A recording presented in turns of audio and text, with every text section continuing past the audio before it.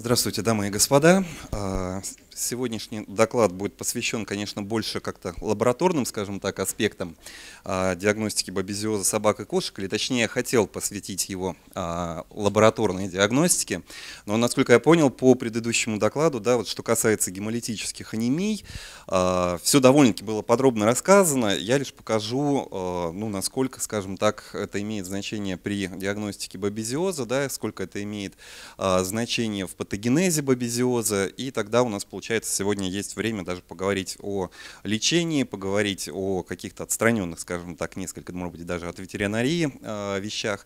Ну и самое главное, то, что я попытаюсь сегодня еще донести, это жизненный цикл развития бобезий. Э, я уже просто взял на себя такую функцию, не знаю, за все, наверное, фармкомпании работать и за э, ветеринарные э, институты, потому что почему-то у нас не любят говорят, э, говорить про жизненные циклы э, бобезий, и все время как-то в вузах его урезают, рассказывают только половину истории. Я вам расскажу вторую часть истории. Итак, возбудителей бабезиоза у собак много. Это не один вид, а, это да, целая плеяда видов. А, и их э, принято во всем мире разделять на э, две большие группы, так называемые большие бобези. Ну, большие в скобках, понятно, что они все равно микроскопические, да, и глазами их не видно. А, и э, принято выделять три вида. Это бобезия канис, тот самый номинальный вид, либо подвид бобези, которым мы чаще всего с вами и встречаемся, да, потому что мы живем а, в относительно северной части Евразии. Я сам из Новосибирска, у меня встречается только этот данный подвид, других подвидов у нас нас до сих пор не зарегистрировано у собак, ну, во всяком случае, на настоящий момент. А, у нас имеется вид или подвид бобезия канец вогели, а, или возжели ее называют. Ну, вообще латынь читается как вогели, да, а на, самом деле, как бы, если читать правильно фамилии, наверное, все-таки возжели. А, южноевропейский вид – либо подвид э, больших бобезий, и бобезия э, канис роси, ну это однозначно на самом деле отдельный вид, э, так уж во всяком случае говорит нам молекулярная генетика, это бобезия роси, которая встречается в Африке. Самое интересное, что все то, что мы знаем об обезиозе собак, о его э, лечении, о его патогенезе. А, Все то, что касается всевозможных клинических исследований бобезиоза, а, почти все, а, вот весь этот багаж знаний, он относится к бобезе Росси. Как неудивительно. Дело в том, что самое лучшее группа по изучению бабезиоза находится в Южной Африке а, на факультете а, города Андерстудпорт. А, это одна из лучших ветеринарных школ в мире на самом деле, ведет свою э, историю от британской ветеринарной школы. И, собственно, бабезиоз изучался фактически все то, что э, известно в западном мире, именно на этом отдельном виде бабезий. И самое интересное, что это самое тяжелое заболевание да, из всех бабезиозов, бабези, э, вызываемый бабезией канис ройси, и оно уникально и сильно отличается от того, что, например, бывает при заражении бобезии канис-канис, к которой мы э, с вами привыкли, и тем более радикально отличается от бобезии канис-воджели, а, которая на самом деле э, вызывает настолько легкое заболевание, что большинство животных вообще бессимптомно переносят заражение бобезиозом, э, вызываемым именно этим видом. И, э, соответственно, нельзя так легко переносить все то, что написано в западной литературе, не разбираясь, где это было написано. Да? Посмотрели, если в Африке, значит, это не про нас на самом деле, потому что это абсолютно разные заболевания, и есть отдельная даже статья «Разные виды бобезий, разные заболевания». И так называемый малый малые бобези, а, которые имеют э, размер менее радиуса эритроцита. А, их сразу несколько видов за последнее время было описано или предприняты а, э, попытки, скажем так, описать. Это бобезия гибсони. Ранее почему-то в литературе упоминалось, что она встречается только на Дальнем Востоке. Реально же она встречается у нас на юге России. Э, есть подтвержденные случаи этого заболевания. А, недавно был случай э, описан у нас в Санкт-Петербурге, да, э, прекрасный э, случай, целый кейс-репорт такой а, выложен в группе на Фейсбуке можете ознакомиться, очень интересно, а, тем более, что все это закончилось полноценным лечением. Э, владелец еще и нашел препарат, который необходим был для лечения. Э, кейс очень-очень интересный. А, регистрируется также и в Москве. Э, разумеется, большая часть случаев, наверное, бобезиоза, вызванная бобезией Гибсоне, это завозные для нас случаев. Ну, я имею в виду для нас, для Новосибирска, для Санкт-Петербурга и для Москвы. Но, тем не менее, как я потом буду дальше говорить, вполне возможно, у нас есть собственные локальные очаги бабезиоза, вызываемые бабезией гибсони, мы, видимо, об этом просто еще пока слишком мало думаем, либо слишком мало знаем. Бабезия Конрада недавно была описана в США. Раньше ее рассматривали как бабезия гибсони, какой-то такой американский штамм. Потом стало понятно, что это отдельный вид точно так же. Опять же, когда начинаете читать литературу, все то, что написано про бабезию э, Гибсони где-то там в США, это не относится к тому, что на самом деле бабезия Гибсони у нас. Очень сложно бывает ориентироваться во всем этом. На самом деле, я не знаю, сколько у нас будет видов бабезий в конечном итоге лет через 10. Думаю, что будет описано еще штук 5 запросто. Значит, у нас есть еще бабезия микроти, похожая, скажем так, на микроти, или их называют бабезия микроти-лайк в литературе. Недавно его пытались три раза описать как отдельный вид. А, значит, Тейлерия Анны она называлась, Бабезия Анны, потом ее переименовали в Бабезию Вульпис. А, ни один из этих названий вообще не пригодны для использования, а, поскольку были нарушены правила зоологического кодекса. Поэтому пока будем обзывать ее Бабезия микроти-лайк, пока кто-нибудь, не знаю, может быть, здесь из вас не возьмет, не намажет на стеклышко и не опишет ее как новый вид по, по всем правилам, как положено. Бабезия экви, повсеместный паразит лошадей, да, встречается, в принципе, везде. А, вызывает а, заражение а, у собак, да, то есть их можно обнаружить путем ПЦР либо секвенирования, но так или иначе при этом животные эти не имеют клинических признаков. Ну, во всяком случае, когда ее обнаруживали, животные были здоровы. И это говорит о том, что бобезии на самом деле не столь строгие паразиты, да, не настолько четко приурочены к своим хозяевам и очень любят, видимо, правила вообще нарушать. А, что касается кошек, у них также имеется две группы, а, больших и малых бобезий. А, большим бобезиям относится это бобезия канис презентии, отдельный подвид, который был описан от кошек в Израиле. Есть э, э, также другие виды которые встречаются, это бобезия герпа илури, описан из Южной Америки от, э, если не ошибаюсь, ягуаранди. А, кроме того, а, известны случаи заражения бобезией вожели а, кошек. И, кроме того, довольно-таки э, интересные работы были опубликованы за последние пару лет, когда бобезию канис канис, тот самый классический подвид бобези, да, который мы с вами привыкли обнаруживать у собак, обнаруживали и у кошек. А, значит, и, э, само собой, целая плеяда малых бобезий. Это бобезия а, филис, бобезия кати. А, встречаются они в Африке, в Индии у крупных кошек, но экспериментально было показано, что они прекрасно приживаются в организме наших с вами э, мелких плотоядных, да, которых мы лечим, и, соответственно, также вызывают у них э, клинические признаки.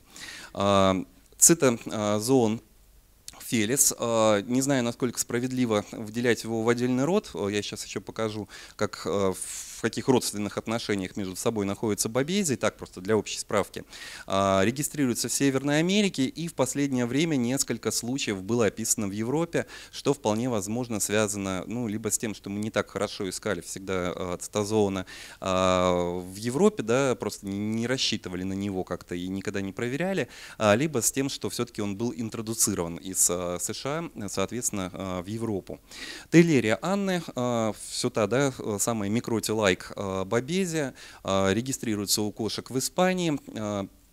При этом не совсем понятно, какое клиническое значение а, данный вид имеет у кошек. И, наконец, э, истинная бобезия микроти – это паразит грызунов, э, полевок прежде всего. Один из самых распространенных, э, наверное, в России видов бобезий, поскольку он есть в любом точно регионе, где есть клещи, где есть полевки. Да? А клещи у нас есть почти везде, а полевки-то уж тем более везде. Да? А, и, соответственно, бобезия микроти неоднократно уже регистрировалась у кошек, а, и при этом было показано, доказано, что она способна вызывать клинические признаки заболевания у кошек. А, поэтому, грубо говоря, а, мы должны понять, что специфические паразиты кошек, такие как бобезия фелис, бобезия кати, это где-то не у нас, да? А, бобезия канис презенти не у нас, но у нас присутствуют всегда казуистичные такие случаи, заражения как бобезия микроти, или, например, бобезия канис канис, Э, как минимум вот эти два вида у нас точно имеются на территории, и поэтому периодически подозревать кошек в бабезиозе мы имеем полное право. А, что касается случаев, которые описаны у нас в литературе, а, из всех тех случаев, которые мне удалось а, ознакомиться, опубликованы, я имею в виду случаи на русском языке, ни один случай не был подтвержден какими-то специальными методами исследования, я имею в виду ПЦР и тем более секвенирование выделенного ДНК. И все то, что описывается, это находки некие в эритроцитах бобезий у кошек. Причем ни одна публикация не сопровождалась на самом деле фотографиями, поэтому у меня всегда всегда возникает вопрос, а то ли вы видели, ребята, да? Как бы я, с одной стороны, с уважением отношусь э, ко всем исследователям, но надо понимать, что очень много бывает всевозможных находок, да, довольно-таки странных, когда смотришь и думаешь, вот бобезия это или не бобезия все-таки, да? А, и тут, как бы, само собой, надо эти вещи как-то подтверждать, я не знаю, указывать размеры, делать фотографии, а, но, тем не менее, вот э, полноценных подтвержденных случаев я до сих пор э, не встречал. А, что касается Украины, очень интересный вопрос мне на, на, э, на днях задали в Киеве. А, и э, относительно бабезиоза у кошек у них есть подтвержденные случаи а, при помощи ПЦР. При этом работник лаборатории утверждала, что они имеют дело все время с бабезией фелис. На что я им сказал о том, что извините, мы не в Африке живем, да? нет у вас бабезии фелис. И, разумеется, когда мы начали разбираться, я просто написал в лабораторию, попросил прислать праймеры, которые они разработали для определения давления. И оказалось, что эти праймеры на самом деле могут срабатывать, например, на бобесию микроте. Ну, то есть э, просто неправильно разработан был э, набор, поэтому пока э, Африка в Украине отменяется. Значит, что касается кошек, еще а, пара буквально слов. А, значит, относительно того, а, какие это кошки были обнаружены да, и заподозрены в заражении бобезией канис канис. Это были испанские да, исследователи, которые в ПЦР обнаружили у клинически больных животных бобезию канис канис. Самое интересное, что все эти кошки были FLV позитивны. И тут у меня возникает большой вопрос. Они, значит, заразились бобезией канис канис, потому что они были иммуносупрессированы, да, то есть это э, первый вопрос. То есть, может быть, эта казуистика связана а, с тем, что здесь как с ВИЧ-инфицированными, точнее, э, СПИД-больными да, людьми, а, которые собирают на себя все и вся, да, э, любой паразит может приживаться. Либо другой вопрос. Сам по себе вирус лейкоза, по всей видимости, имеет возможность да, вызывать ту самую а, иммуноопосредованную гемолитическую анемию, соответственно, абсолютно такую же картину, как и э, э, при бобезиозе. Да? То есть э, не факт, что здесь были а, виноваты а, непосредственно сами бобези. А, значит, вот здесь показано дерево родственных отношений бобези. Сейчас в мире принято систематику строить на основе молекулярных данных, то есть на последовательности ДНК. И на этом вот дереве, конечно, очень сложно что-то так полноценно рассмотреть. Было показано, каким каком родственном отношении находятся разные виды бобезий. Ну, во-первых, мы как-то привыкли к слову пироплазмы, да, помните такое. А пироплазмозом у нас в свое время э, называлось заболевание из-за того, что а, крупных бобезий в свое время вывели в отдельный род пироплазма и долгое время его отстаивали наши, ну, скажем так, постсоветские или советские ученые.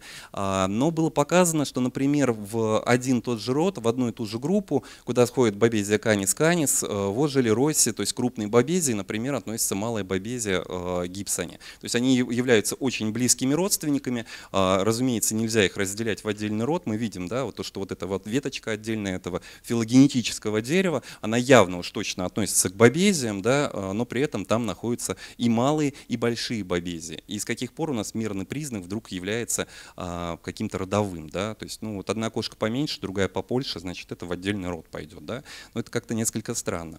Вот. И что касается того самого цитозоона, а, он имеет э, ближайшего родственника, это Бобезия экви, скорее всего, он перестанет быть отдельным родом, а, всех их соберут в одну кучку и назовут тейлериями, и э, будут жить они вот в этом роде. Так что у нас впереди еще большие-большие преобразования, будем учиться все говорить заново. Да? Только сегодня выучили, наверное, слово цитозоон, придется забыть называть тейлериоз кошек каких-нибудь. Да? А, значит, я думаю, что все вы прекрасно знаете, как выглядят бобези. Сегодня мы будем большей частью говорить о бобезиозе, вызываемом а, именно бобезией канис, а, причем больше говорить будем именно о бобезии канис-канис, о классическом подвиде. Очень часто мы их видим в Москве самыми разнообразными. Это всегда довольно-таки крупные образования да, внутри эритроцитов. И при этом бобези, размножаясь в эритроцитах, меняют свою внешнюю форму Сначала проникающий э, трофозоид, э, питаясь в эритроците, выглядит вот таким вот образом в виде колечка, э, потом он вытягивается, образует какую-то амебовидную форму, э, потом делится, может делиться э, потом еще неоднократно, да, и э, картинки могут от этого у нас меняться.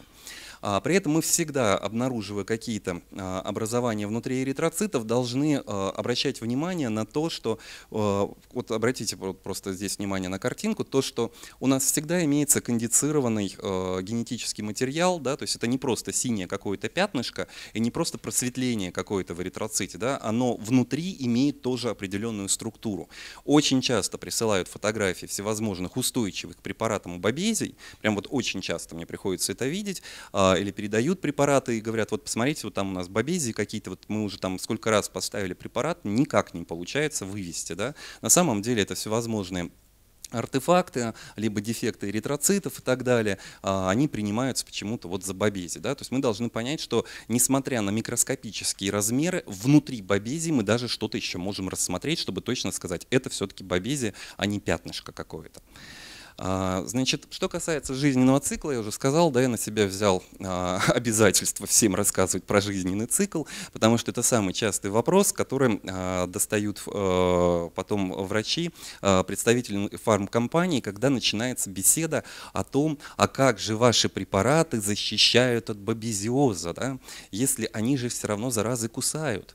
И, собственно, те заразы, которые кусают, это те самые клещи, которые являются окончательными хозяевами бобезий. То есть именно а, у клещей происходит половой а, процесс размножения бобезий, поэтому они являются окончательными хозяевами. И промежуточными хозяевами являются наши с вами а, питомцы. Чаще всего промежуточными хозяевами являются клещи рода дермоцентр двух э, видов на территории России. Это маргинатус и ретикулятус. Он же иногда все время говорят о каком-то пиктусе. Пиктус это э, синоним э, ретикулятуса. То есть на самом деле у нас два этих вида.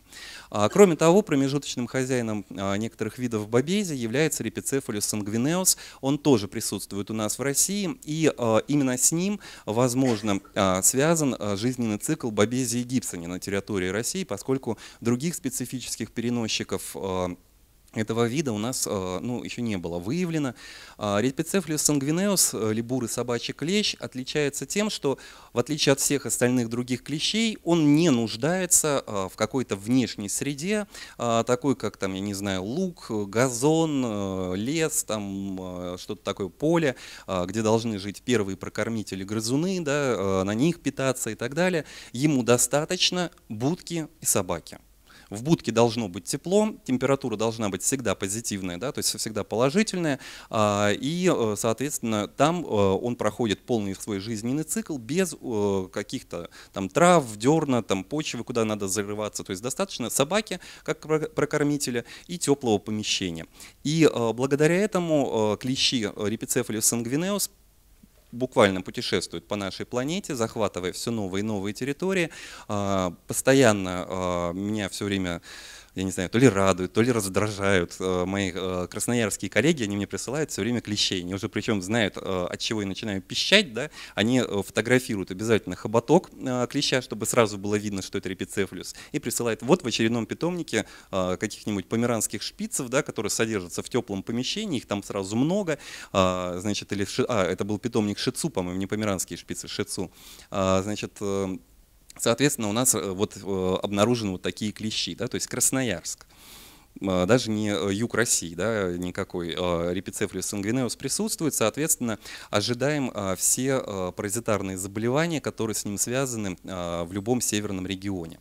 Ну, понятно, что заражение происходит в тот момент, когда клещи прикрепляются к животному, напиваются крови, и вот тут самый главный момент у нас настает истины относительно жизненного цикла.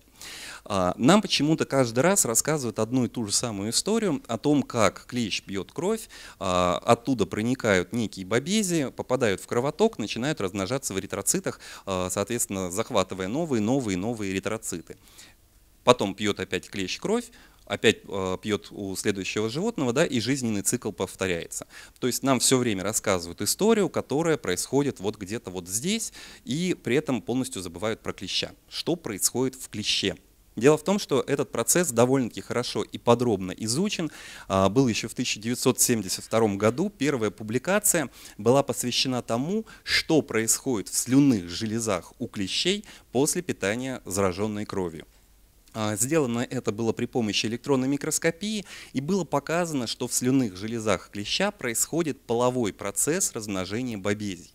Помните вот весь этот кошмар на паразитологии, когда вы только-только пришли да, на занятия, а вам начинают рассказывать такие страшные слова, как споргония, шизогония, шизонты, испаронты, да, там, э, гаметы, зиготы. И вот этот весь вот ужас нам э, рассказывали про э, эмерий, нам рассказывали про цистоизоспор, но никто нам не сказал о том, что с паровикам относятся туда же и бобези, и весь этот половой процесс происходит в слюнных железах еще и у клещей. То есть нам это нашу психику, да, немножечко решили не травмировать и вычеркнули это все.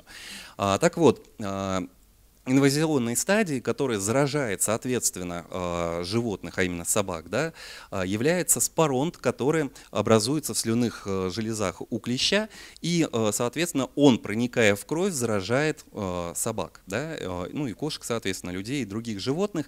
И на процесс вот этого вот образования инвазионной стадии бобези уходит 48 часов, во время которых клещ питается на собаке.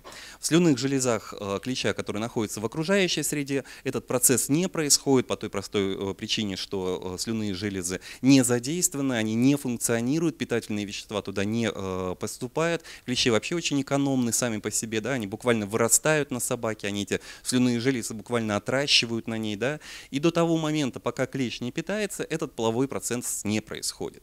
Нет полового процесса, нет инвазионной стадии внутри клеща, соответственно, невозможна передача от животного клеща животному, а, соответственно, а, бобезиоза. А, было показано, что потребуется порядка 48 часов питания клеща на собаке для того, чтобы сформировались эти самые споронты и произошло заражение собак бобезиозом. А, дело в том, что первая публикация, где это было сделано в экспериментальном, да, на экспериментальной модели, она была опубликована на немецком языке, и половина мира на самом деле, а, все кто-то слышал да, о том, что вроде как где-то там 48 часов, а как доказано, а, никто не видел, да, потому что как бы на немецком читают не очень многие, а про электронную микроскопию это как бы, ну все, конечно, очень интересно, да, но это как-то вот непрактично все для нас, особенно для тех, кто работает в клиниках, но не недавно было сделано а, сразу два параллельных исследования, в которых было показано следующее.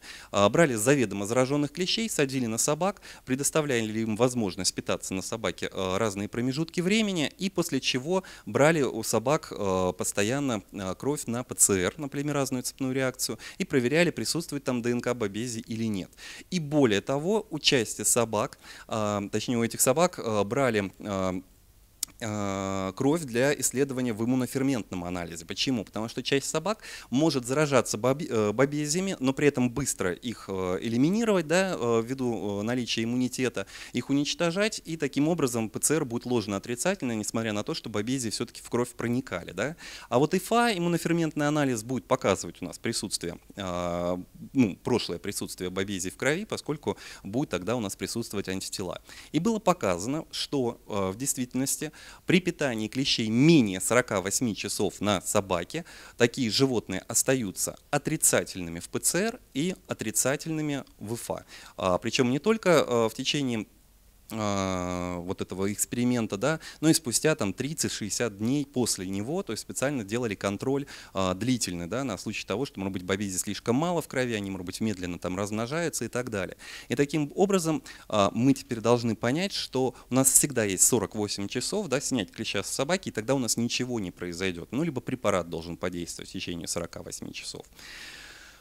А, при этом еще один а, цикл, который происходит а, внутри клеща, это передача самих бобезий следующим поколением клещей. Они передаются трансавариально, то есть клещ, который вылупляется из яйца, уже внутри себя содержит бобезий. И вот этот вот процесс без присутствия собак, да, то есть когда клещ передает другому клещу все время бобезий, происходит до 40 поколений клещей. Если учитывать, что, например, на территории Сибири э, дермоцентры живут в течение трех лет, да, то есть взрослый клещ, который нападает на собаку, ему уже три года, да, потому что он прожил э, две э, зимы э, в спячке э, на стадии нимфы и личинки, то э, 120 лет, получается, 40 поколений может длиться без единой собаки на территории, да, а клещи остаются зараженными э, бобезиями. Я поэтому всегда говорю о том, что бобезии это паразиты все-таки клещей больше, нежели чем собак. Да? Э, собаки это случайные пострадавшие. А что касается патогенеза и клинических признаков заболевания, а, здесь а, очень часто все начинается с того самого анамнеза, где животное находилось все это время, и очень часто врачи задают такой вопрос, а снимали или не снимали клещей? Да? На самом деле этот вопрос, он такой философский, из разряда, а давайте поговорим об этом, да?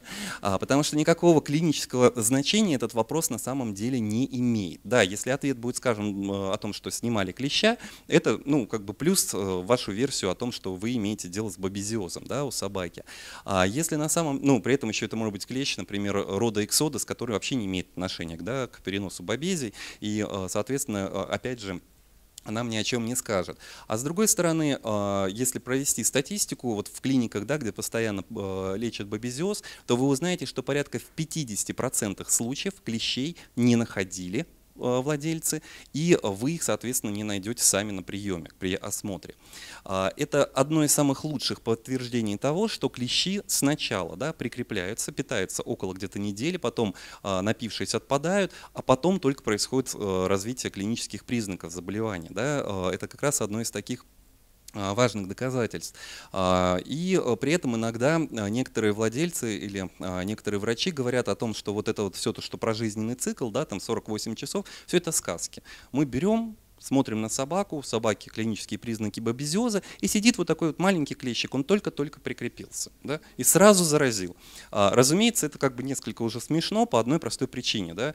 А, то, что вы видите этого маленького клеща, он вообще ни в чем не виноват. Да, то есть все сделали уже до него, уже напились, отвалились, а он крайний в конце концов, да, оказывается. А, поэтому, конечно, находки клещей это интересно, для общей, э, скажем так, практики, но иногда владельцы не в состоянии их найти и стесняются там вот под хвост заглянуть или еще куда-то а, для того, чтобы обнаружить этих самых клещей. Итак, больше о а, чуть-чуть э, патогенезе заболевания.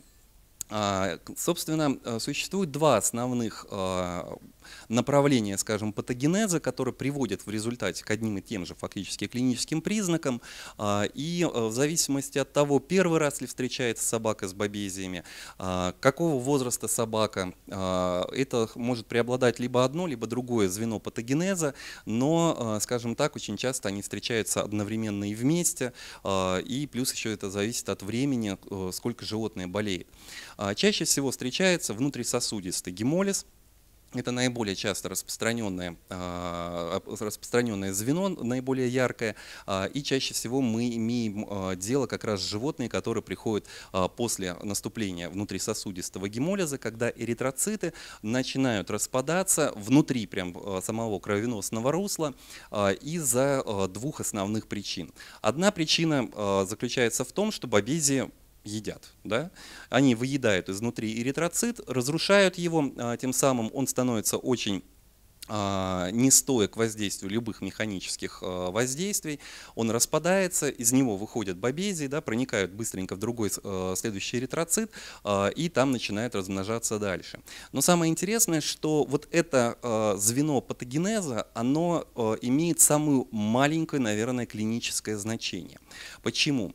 Любой человек, кто, вот, например, взял бы, покрасил да, с собаки кровь, вы увидите, что процент пораженных эритроцитов, он 1, 2, 3 процента да, то есть он всегда небольшой. Но там в каждом десятом эритроците, а, ну это относительно редко бывает. То есть процент пораженных эритроцитов не имеет большого значения для а, выраженности клинической картины. То есть подсчет эритроцитов здесь не имеет какого-то такого значения. Более того, было показано, что при бобезиозе, вызываемом бобезией канис-канис, а, процент может быть ничтожно мал, а клиническая картина быть самой отягощающей. Ну, сами представьте себе, от гематокрита 1% или 3% отнять. Ну, съели они 3% эритроцитов. Что в этом такого страшного? Да? А, ничего тут э, страшного не происходит. Поэтому на самом деле внутрисосудистый гемолиз чаще происходит по другой причине, а это именно развитие аутоиммунной гемолитической анемии а, в том понимании не как отдельного заболевания как такового, а как просто части процесса уничтожения поврежденных эритроцитов. А, и кроме того, по всей видимости, организм э, вообще начинает атаковать здоровые эритроциты, что связано, может быть, с двумя процессами. Во-первых, э, то, что бобези, постоянно разрушаясь в крови, либо обитая да, в кровотоке э, и в эритроцитах, выделяют какие-то антигены, да, э, проще говоря, это все, всего лишь белки, продукты их обмена, которые адсорбируются на эритроцитах и, более того, еще и на тромбоцитах, и э, организм воспринимает такие тромбоциты или эритроциты как чужеродные и пытается пытается их, соответственно, уничтожить. Да? А, после этого уничтожения может происходить в масштабах очень серьезных. Именно поэтому, несмотря на небольшой процент зараженных эритроцитов, мы можем увидеть серьезные изменения да, гематокрита, когда а, происходит а, быстрый волнообразный гемолиз, раз и собака лежит в лёжку, да, и при этом гематокрит, э, гематокрит где-то ниже плинтуса находится. Внутриклеточный гемолиз – это второе звено патогенеза, которое чаще всего бывает у пожилых животных, чаще бывает у животных, которые болеют уже не первый раз, а, которые особенно а, неоднократно заражались бобезиозом, а, либо это животные, которые пережили каким-то образом первую волну, да, то есть внутрисосудистый гемолиз произошел, при этом они остались живы, э, не замечены, может быть, владельцами, либо замечены, но, как всегда у нас владельцы водочкой поили их, да, там недельку-другую запоя у собачки было, а потом пришли, э, соответственно, с собакой, у которой наблюдается второе уже звено э, патогенеза, это внутриклеточный гемолиз. А, при нем происходит следующее. Эритроциты а, изымаются из кровотока при помощи а, иммунных клеток, расположенных в селезенке прежде всего и в печени, да, для того, чтобы их отправить на утилизацию. Во-первых, э, те эритроциты, которые отправляются на утилизацию, да, они повреждены самими бобезиями, разумеется, и в селезенке происходит постоянный отбор. А, кто из вас пойдет на помойку. Да? Те эритроциты, которые хорошо гнутся а, в сосудах селезенки, изгинаются, протискиваются через узкие ее капилляры, а, считаются жизнеспособными, и селезенка их пропускает. Да? Те, кто гнуться не может, а гнуться не могут те, кто, внутри которых сидит э, бобезия, те, на которых приклеились антитела, к примеру, как вот это было да, показано вот сейчас очень красиво на картинке, да, те, которые слепились по двое и так далее, идите сюда, и хватает макрофаг, втягивает, разрушает, а, и тем самым а, значит, происходит снижение гематокрита а, в целом. И, разумеется, оба этих звена ведут к следующему. Пропадают какое-то количество эритроцитов, неважно да, по какой причине, э, разрушаются либо они внутри э, кровотока, либо внутри клеток, да, печени, либо селезенки, или даже тех же самых легких э, там, лимфоузлов и так далее. Э, так или иначе, все это ведет к гипоксии, недостаточно, э, недостаточному поступлению кислорода в тканях. Ну и отсюда э, все остальные э, клинические признаки. Что касается системной воспалительной реакции, она тоже всегда у нас присутствует.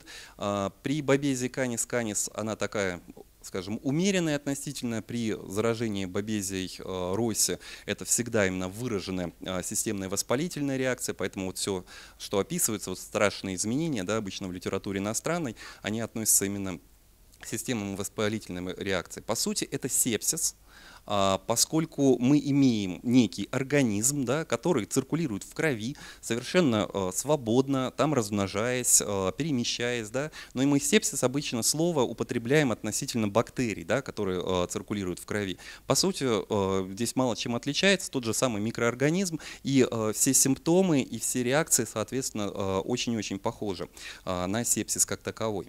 Единственное, в чем разница, то, что если при сепсисе мы не можем использовать, например, глюкокортикоиды да, по одной простой причине, что мы тем самым снижаем иммунитет, да, и бактерии у нас будут плодиться. Тут здесь мы можем избавиться легко от бобезий и пользоваться, например, глюкокортикоидами. А, кстати, медики сейчас очень активно обсуждают вообще ценность применения глюкокортикоидов при сепсисе. И есть данные о том, что, скорее всего, при сепсисе можно глюкокортикоиды. Можно, да, но не значит, что нужно. Значит, к чему это ведет у нас в виде клинической картины, то есть как мы это видим все непосредственно на собаке. При внутрисосудистом гемолизе мы Первое, на что обращаем внимание, это на бледность, слабость у животного, наличие отдышки. А, чаще всего по анализам мы обнаруживаем нерегенеративную анемию, а, и здесь уже было сказано да, об опасности интерпретации отсутствия ретикулоцитов в крови. А, здесь происходит острый гемолиз, и на самом деле ретикулоциты они появятся потом, да, позднее, то есть нам необходимо будет пересмотреть кровь через некоторый промежуток времени, поскольку процесс у нас острый, пока еще организм не успел успел э, среагировать и выделить э, ретикулоциты. А, соответственно, мы будем обнаруживать гемоглобин урию. А, если вы пользуетесь там хотя бы полосками для мочи, да, а, вы можете еще обнаружить уробелин урию э, как еще одно такое небольшое подтверждение ваших предположений. Что касается гемоглобинурии, по полоскам она мало чем отличается да, от гематурии, поэтому необходимо обязательно все это проверять под микроскопом. Об этом тоже, в принципе, сегодня уже говорили.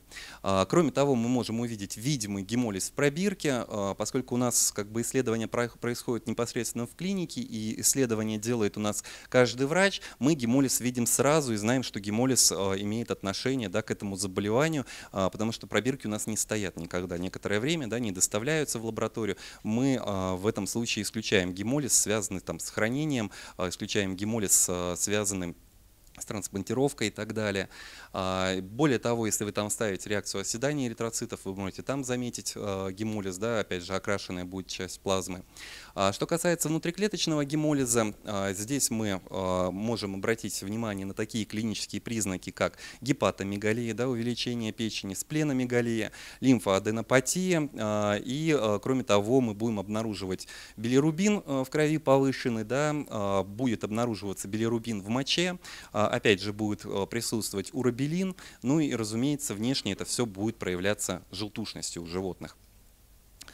А, значит, что касается гемоглобинурии, э, есть замечательная лекция, а, мне очень нравится название, такое провокационное, там 50 оттенков желтого, да, вот здесь я не знаю, все цвета радуги это или как обозвать, да, а, значит, на самом деле цвет мочи э, не всегда э, бывает значимым для диагностики именно гемоглобинурии, поскольку у ряда животных, то есть цвет может изменяться совсем-совсем незначительно, моча буквально слегка розовая, и владельцы а, этого не замечают. Да? А, не все хорошо различают цвета, а, и вообще возможность рассматривать цвет мочи у владельцев несколько все-таки ограничен. Да? Это не зима, чтобы на белом снежочке это смотреть, поэтому не ориентируемся опять же на цвет, ориентируемся на реакцию присутствия гемоглобина, соответственно, в моче. Что касается агглютинации, агглютинацию мы наблюдаем очень часто. Сделать это очень просто, смешав каплю крови с небольшим количеством физиологического раствора, оставить постоять недолго на стекле, и вы увидите, что а, кровь, она агглютинирована. А, гемолиз, видимый в пробирке, здесь вот показан, да, он может быть либо а, ярко выраженный, либо в некоторых случаях мы можем видеть облачко такое свободного гемоглобина непосредственно над слоем красных кровяных телец. Ну, анемичность, наверное, все мы тоже представляем. А, так вот выглядит желтушность у животных, которые долгое время болеют.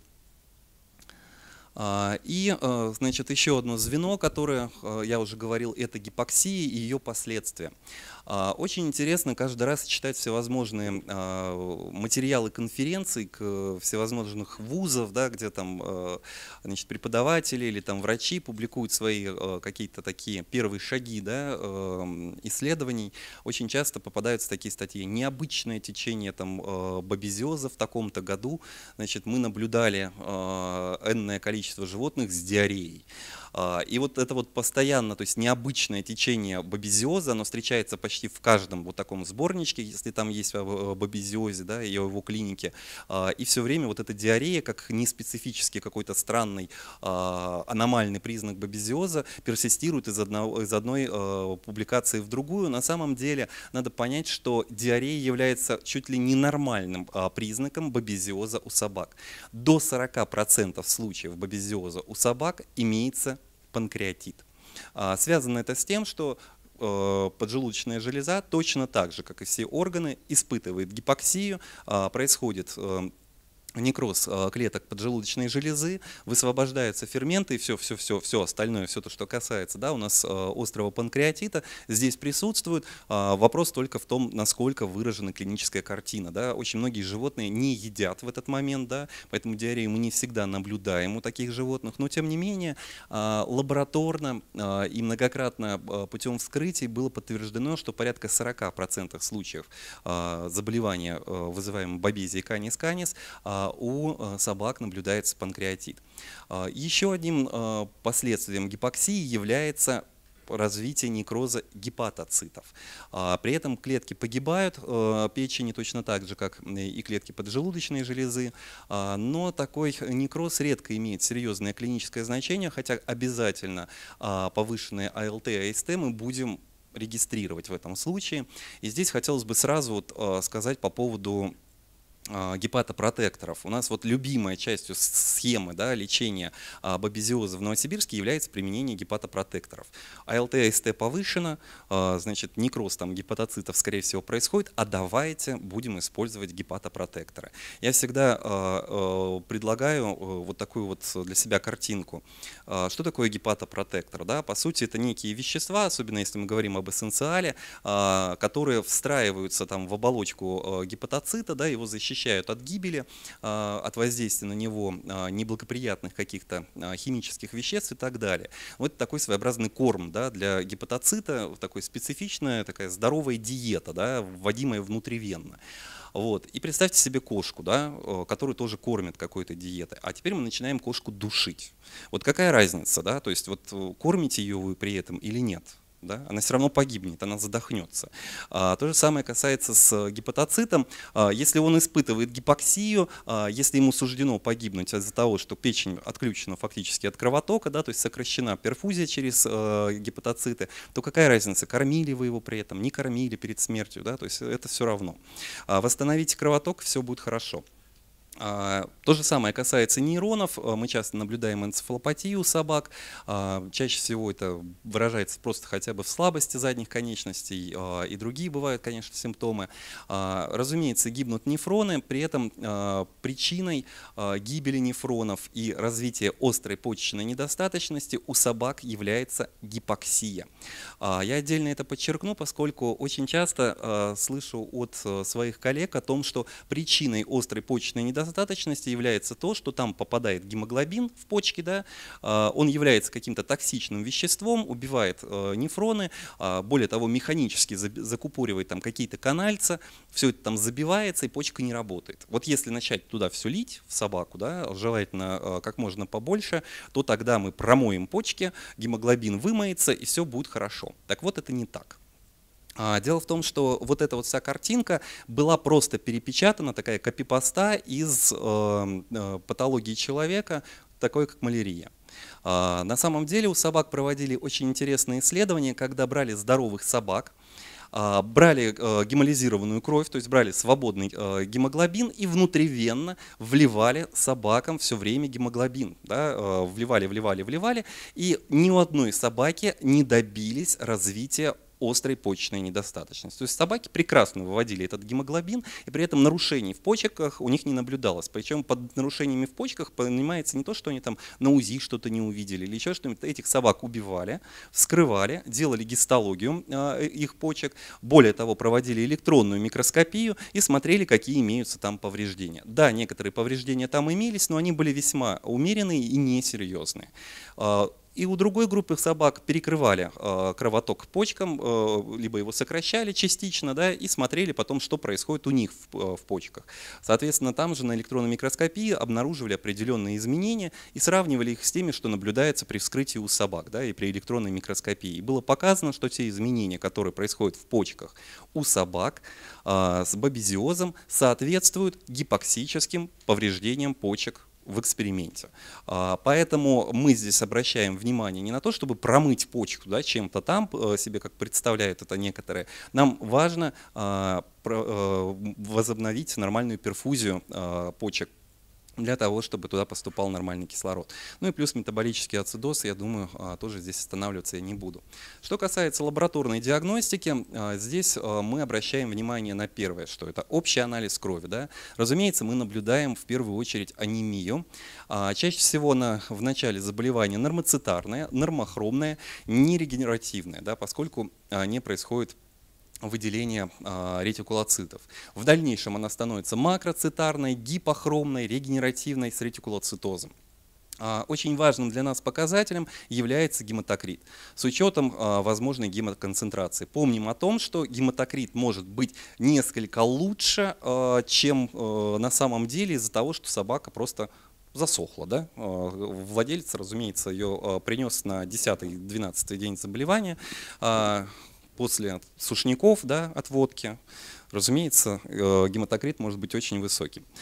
Реакция Кумса. А, Все время говорил вот всем о том, что не делают у нас реакцию Кумса э, во всей стране. Теперь можно сказать о том, что здесь в поиске, да, непосредственно а, в Санкт-Петербурге у вас есть возможность сделать реакцию Кумса. Сразу скажу, что она в 85% случаях у собак с бобезиозом будет положительная. Почему? Потому что эта реакция показывает наличие а, антител против э, собственных эритроцитов, да, и они при бобезиозе при присутствует в как минимум в 85% случаев. То есть она будет э, положительная. И помните всегда, что в первую очередь да, необходимо исключить бобезиоз, и потом начинать искать иммуноопосредованные анемии другого э, характера.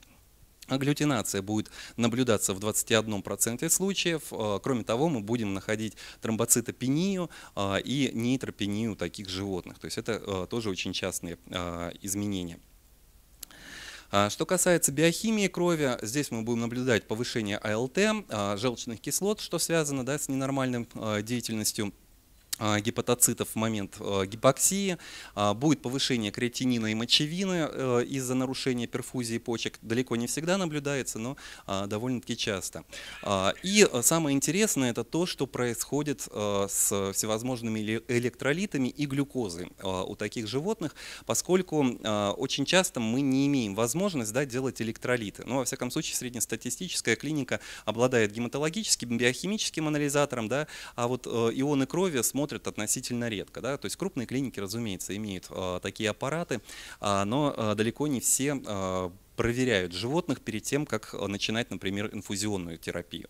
И у нас почему-то все врачи исходят из э, следующего, что собака, которая пришла с бобезиозом, она приходит с гипо всем.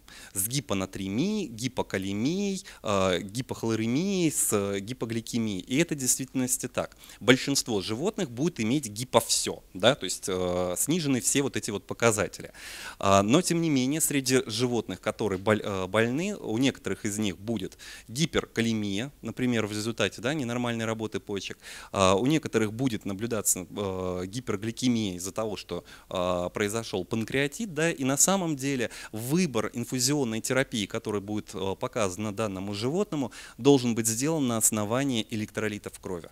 Это обязательно. Если вы не имеете это, возможность это сделать, то ну, как минимум умерьтесь в тех растворах, которых вам приходит да, в голову, чтобы еще там залить собаки.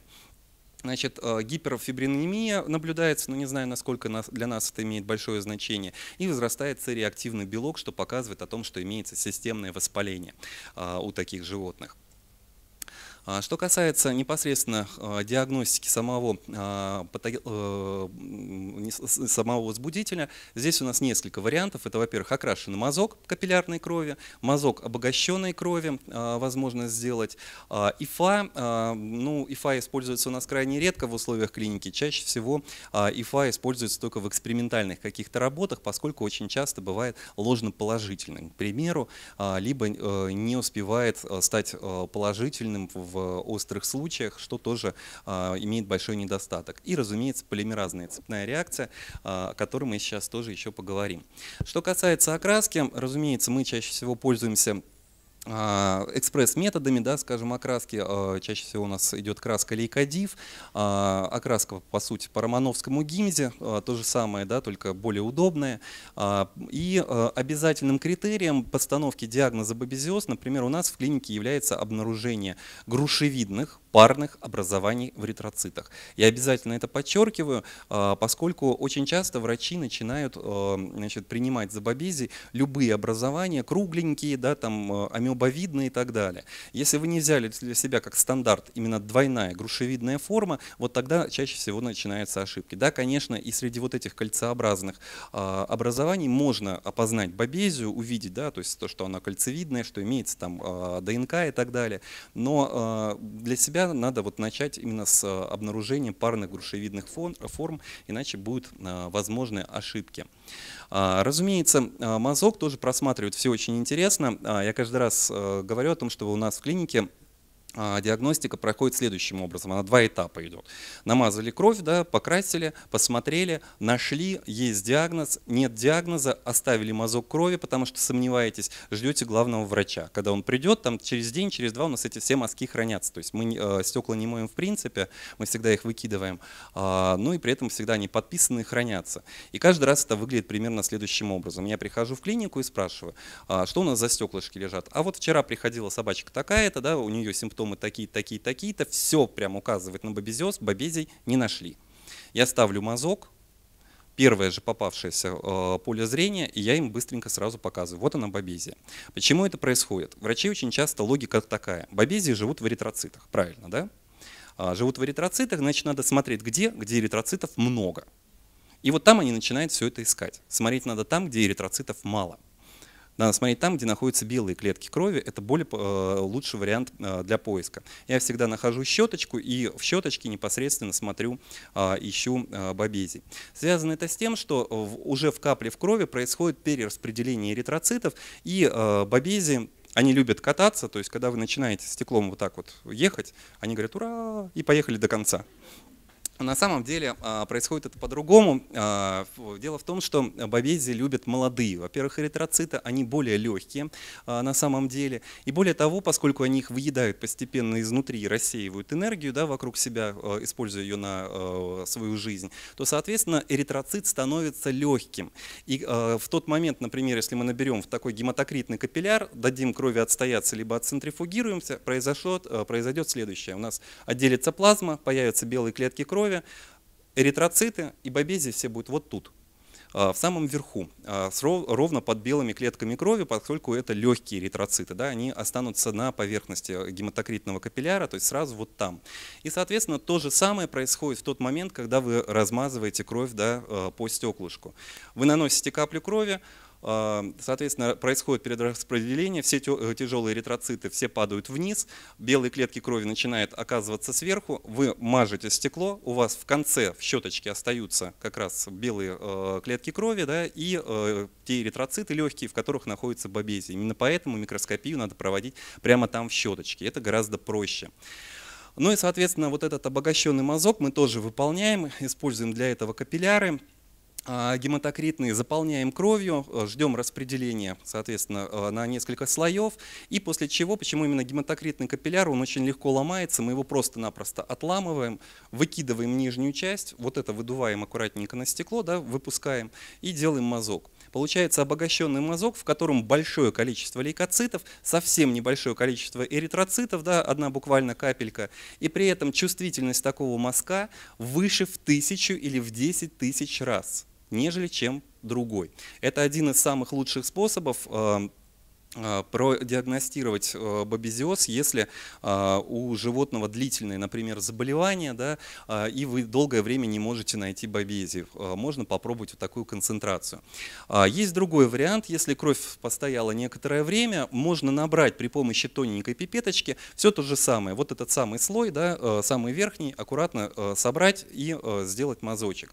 Помните о том, что вы можете тем самым ухудшить на самом деле диагностику, потому что если вы опуститесь ниже, вы будете брать самые бедные эритроциты, да, то есть те, которых не будет бобезий. Поэтому с этим э, методом надо быть э, осторожнее. Ну и разумеется, э, вот картинка, как это все выглядит в щеточки, да, мы видим большое количество э, лейкоцитов относительно и видим, э, собственно, ту самую картину, которая нам э, говорит все о патогенезе.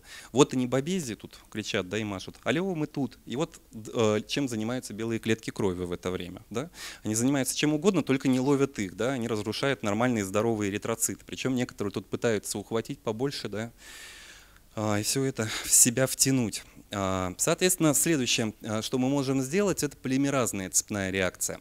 А, к сожалению, скажем так, полимеразная цепная реакция имеет один важный недостаток, да, это скорость ее выполнения, если вы отправляете это особенно во внешнюю лабораторию. На самом деле ПЦР делается в течение там, буквально двух часов, да, и несмотря на это, да, то есть мы отправляем в лабораторию, получаем на следующий день результат. В Москве, говорят, вообще три дня а, ждут да, результата. И а, в результате мы что имеем?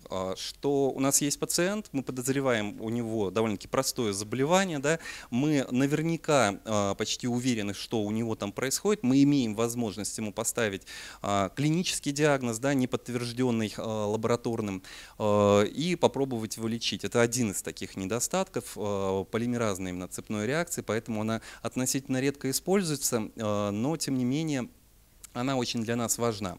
А, поскольку это самый лучший э, и самый чувствительный метод э, для определения бабезиоза. А, если там обогащенный мазок да, э, в 10 тысяч раз чувствительнее, чем обычный, то, что касается полимеразной цепной реакции, это порядка 100 в 10 миллионов раз чувствительнее, нежели чем мазок. Представляете себе, да? И как раз тяжелые случаи для диагностики необходимо обязательно отправлять на ПЦР и перепроверять себя. Кроме того, полимеразная цепная реакция имеет следующий недостаток – это возможны длительные ложноположительные результаты после лечения а, бобезиоза.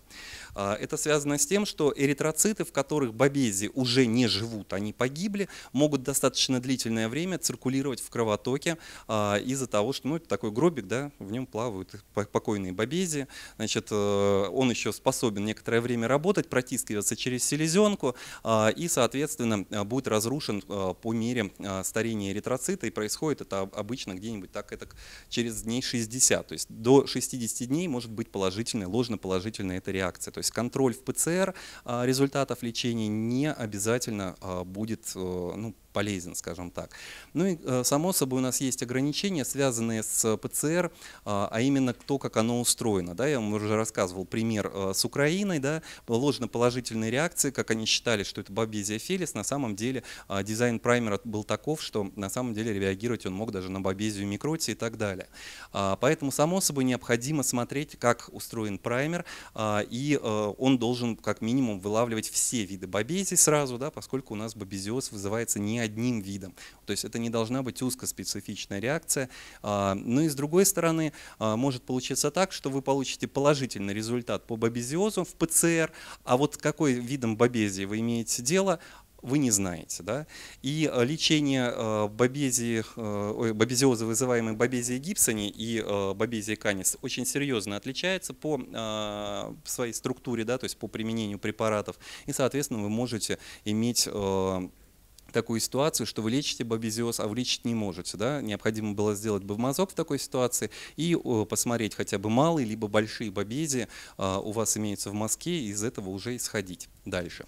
Что касается лечения, а, и на этом я буду заканчивать, а, значит, э, имеется два основных препарата на российском рынке, два, точнее, действующих вещества, препаратов очень много, которые используются для лечения бобезиоза. Первый препарат – это диминозинодиацетурат. На самом деле сейчас довольно-таки много солей диминозена, а, связано с тем, что диацетурат очень нестабилен и а, в растворах, и поэтому нам же пытаются продавать а, препараты удобные, да, мы предпочитаем использовать уже готовые какие-то растворы, чем разводить, применять и так далее. Поэтому там смеси уже солей диминозена бывают. То это препарат относительно морально устаревший, и я всячески борюсь с его применением в клиниках. Связано это с тем, что а, данный препарат относительно токсичен а, для а, собак. Есть э, довольно-таки интересные опыты, связанные с применением этого препарата здоровым животным, и было выяснено, что даже у здоровых животных дозировки нормальные, терапевтические, могут вызывать довольно-таки серьезные клинические последствия. Так, например, Некоторые животные могут э, переживать, например, 15 последовательных введений да, э, диминозена, как ни в чем не бывало, а у некоторых из них может э, наблюдаться гибель из-за введения диминозена. И, соответственно, на вскрытии у таких животных были обнаружены повреждения таламуса, мозжечка, среднего мозга, то есть происходит некроз, некроз нейронов. В российских учебниках еще усугубляется эта ситуация тем, что там прописано двукратное применение диминозена, а, в то время как во всем мире используется он, как правило, однократно. То есть если собака пережила первое введение, у вас есть всегда второй шанс да, воспользоваться учебником и ее добить. А, второй повтор вообще рекомендуется только в случаях заражения бобезия гипсони, но сразу скажу, что диминозен здесь не дает стопроцентного успеха а, и, скорее всего, потребуется применять другие препараты. А, также есть такая рекомендация, как применять 2 мг на килограмм для того, чтобы добиться а, преиммуниции, так называемой. Имидокарбодипропионат – это тот препарат, который мы чаще всего используем. А, большое уже количество дженериков появилось, в том числе достаточно качественных а, иностранных дженериков. Терапевтическая доза колеблется от 3 до 10 мг на килограмм подкожно. А, Все зависит от препарата. Кто-то пишет там 3 мг на килограмм, кто-то 4 мг на килограмм. В оригинальном препарате была в имизоле 7,5 мг на килограмм и обязательно двукратное введение было прописано. Сейчас в инструкциях пишут про однократное введение, возможно, или двукратное на выбор врача. Мы используем стандартную дозировку 7,5 мг на килограмм, несмотря на инструкцию, а, и а, обязательно вводим двукратно, приглашая владельцев на введение препарата через две недели.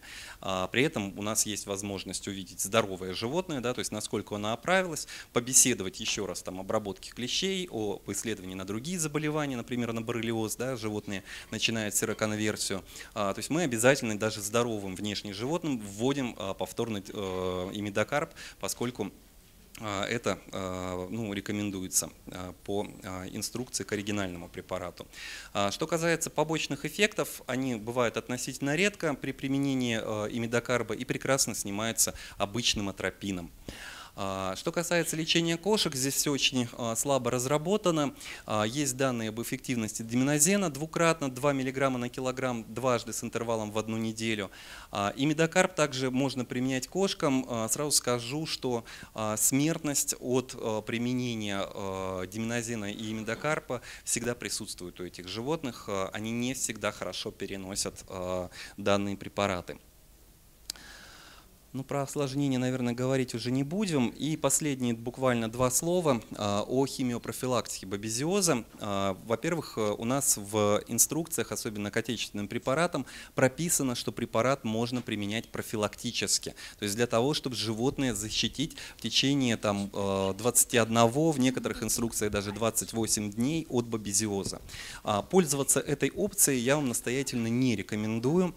Дело в том, что вот это вот колебание от инструкции инструкции, они э, обусловлены тем, что в разных экспериментах у разных производителей э, были разные результаты. То есть одни собаки оказывались защищены на 14 дней, в других экспериментах на 21 день, у кого-то на 28, что говорит о том, что популяция собак, она неравномерна, и каждая собака может по-разному, с разной скоростью выводить из организма этот самый медокарп, и профилактический эффект может крайне сильно колебаться. Поэтому полагаться на э, этот эффект не стоит.